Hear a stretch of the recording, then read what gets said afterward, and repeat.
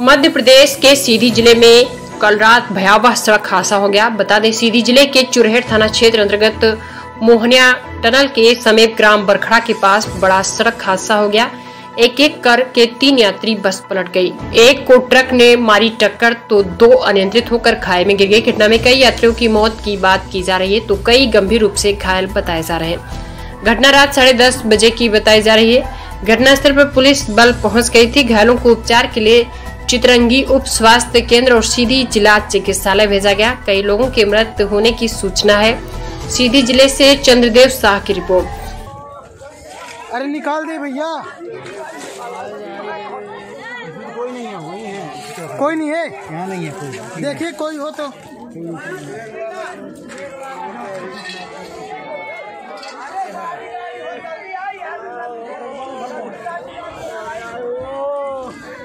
拜拜